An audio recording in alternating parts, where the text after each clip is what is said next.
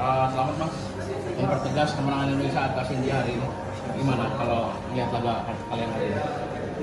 Kali ini pasti alhamdulillah bersyukur atas kemenangan kita sama skor besarnya.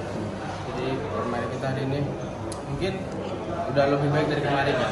Cuma masih harus adaptasi lebih bagus lagi sama lapangannya sama sama anginnya. Kalau ngeliat lawan hari ini menurut kalian mungkin di atas kertas unggul kalian ya? Ini mas ngeliat nih kan udah main di dua laga ya.